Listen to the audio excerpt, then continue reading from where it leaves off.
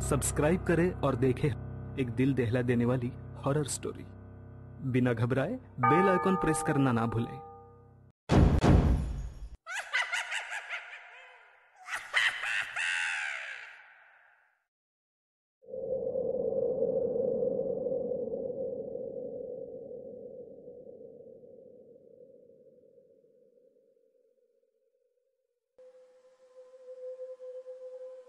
Doctor साहब कुछ महीनों से मेरे पीठ का दर्द बहुत बढ़ गया है।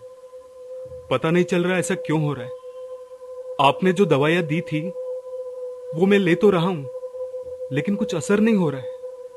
अचानक से पीठ में बहुत दर्द शुरू हो जाता है।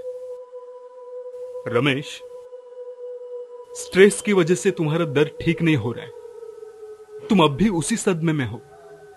तुम्हें सब कुछ भुलाकर अब कपिल के बारे में सोचना होगा। कपिल का भविष्य अब तुम पर निर्भर करता है। अगर तुम ही हिम्मत हार गए तो कैसे चलेगा? डॉक्टर, शायद आप ठीक कह रहे कपिल की चिंता ही मेरे स्ट्रेस का कारण है। लेकिन कपिल अभी बहुत बदल गया है। पहले की तरह अब वो बिल्कुल हंसता खेलता नहीं। चुपचाप सा रहने लगा है। पढ़ाई तो मन लगाकर करता है। स्कूल भी वक्त पे जाता है। खाना भी वक्त पे खाता है। लेकिन न जाना वो मुझसे अब दूर दूर रहने लगा है। और वो उसके बारे में कभी ज़िक्र भी नहीं करता। वक्त सबसे बड़ा मरहम है, रमेश।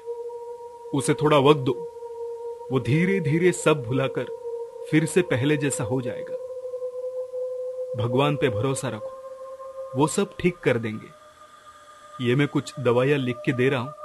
इससे तुम्हें राहत मिलेगी। शुक्रिया, डॉक्टर। बारह साल का कपिल उसके पिता रमेश के साथ रहता है। कपिल बहुत होशियार बच्चा था। स्कूल में, स्पोर्ट्स में, सभी में होशियार होने के साथ ही वो बहुत समझदार भी था। लेकिन कपिल के इसी स्वभाव के कारण उसके पिता रमेश को उसका यह बिहेवियर दिन ब दिन अजीब सा लगने लगा था। और वो इसलिए क्योंकि हाल ही में कपिल की माँ का देहांत हो गया था।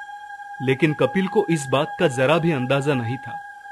वो इतना समझदार था कि उसने अपने पिता से कभी ज़िक्र तक नहीं किया कि माँ कहाँ है।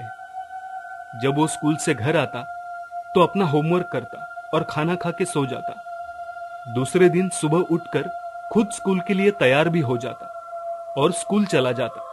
कुछ दिन ऐसे ही होता रहा। लेकिन एक दिन रमेश से रहा नहीं गया।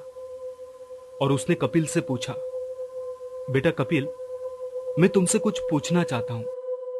बोलो पापा। लेकिन तभी रमेश की पीठ में फिर से बहुत तेज दर्द होने लगता है।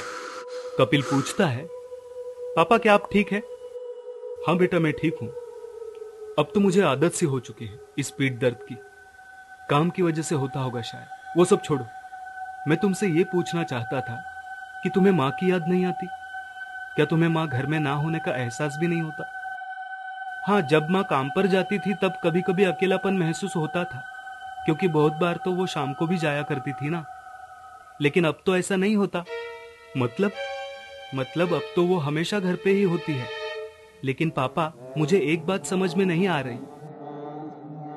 माँ हमेशा आपकी पीठ पर क्यों बैठी होती है? इससे तो आपके पीठ का दर्द और बढ़ जाएगा ना?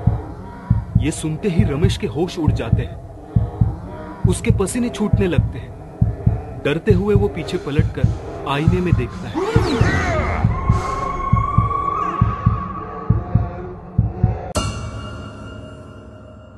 ये कहानी आपको अच्छी लगी हो तो हमें सब्सक्राइब करें। हमारा इंस्टाग्राम और फेसबुक पेज ज़रूर फॉलो करें। अगर आपके पास ऐसी ही कोई कहानी हो तो हमें कमेंट बॉक्स में भेजें। हम कोशिश करेंगे कि अगली एनिमेटेड स्टोरी आपकी होगी।